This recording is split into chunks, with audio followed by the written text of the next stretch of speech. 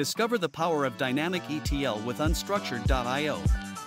In just a few steps, learn how to harness web data, transforming and loading it into MinIO and Weaviate.io.